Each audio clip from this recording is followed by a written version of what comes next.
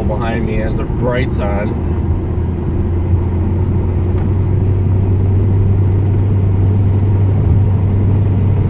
Of course, they're not turning anywhere. Probably gonna follow me all the way to work. What is it with people? Seriously. How can you not know that you've left your brights on? How do you not know?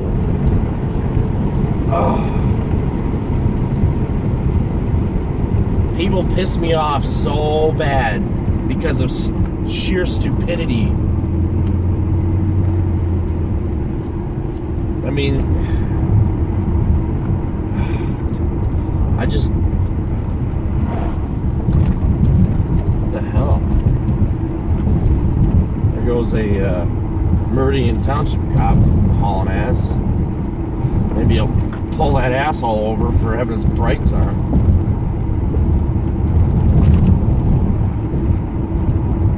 Still got his brights. I can't believe this.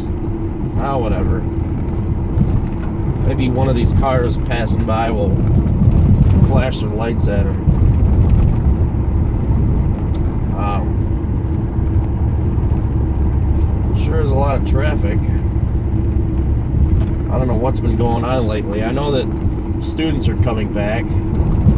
As far as from Michigan State, we usually see a pretty sizable influx of people and oh man.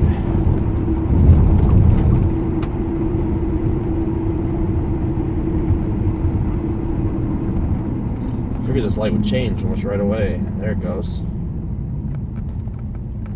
Wow what's with all the traffic?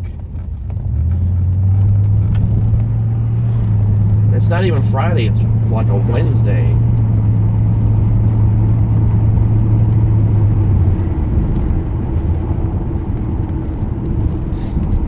Seriously, what the? Look at all this. I mean, yesterday was the same thing. There was people everywhere. It's 3:30 in the morning, and there's all this traffic.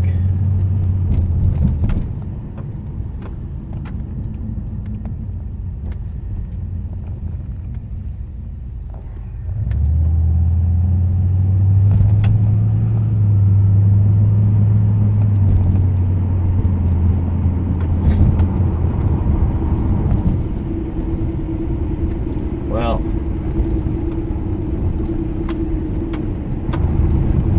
so anyway, I guess I'll answer a question that comes up every so often. If I've ever been pulled over and for what? Um, of course I haven't. Who hasn't? Even my grandma, who drives, or used to, when she was alive, used to drive like 10 under the speed limit everywhere she went um,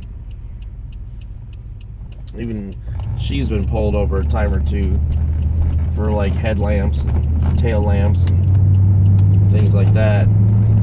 So, yeah, I mean, who hasn't been pulled over? My first experience, I, but here's the thing never had a ticket. Been pulled over several times in my life, no tickets. Um, now, I've had a fix-it ticket before, if you want to count that, but I don't count that because that didn't go on my record or anything. That was a uh, a headlight that was out.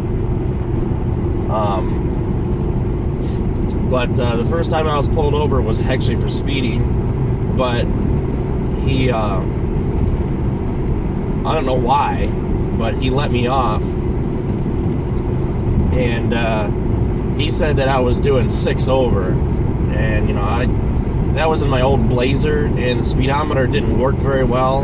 I had a good idea of where my speed was, but you know it had oversized tires and and it had a different uh, rear end, so it the speedometer was off by 10 or so. Is our guess. Um, so because of that, you know, I I, I was uh, shoot, I was 17 when I got pulled over, and I told the cop, I said, you know what, this thing's got oversized tires on it, and it's got a different rear end on it, and I said, uh, I just basically guess as to how fast I'm going. And he must have been in a really good mood. He must have got laid that morning or something because uh, he let me off. He told me that he recommends that I look into getting it fixed because the next cop may not be so nice. So, he had a point. I never got it fixed though. Then shortly after that, it was like a week and a half later, I was uh, heading to my church and uh, I played in the church band was late. I was like, I don't know, 10 minutes late. And I pulled in through the back way because usually the back door was open for staff and so on, but that time it was locked. And it was my first day of practice. So it was locked and it was late at night. It was in the wintertime. So I ran all the way, or I got in my truck, went all the way around, but I didn't come to a complete stop at the stoplight that was stop sign that was at the end of the uh, the way, even though there were no cars coming except for one, which just so happened to be a cop. So he pulled me over inside the church parking lot. I had my guitar and everything. I said, you know, I'm sorry. I'm just in a hurry to get to uh, church. I'm late for uh, for that. And he let me off. He's like, yeah, okay, no problem. So I got pretty lucky there.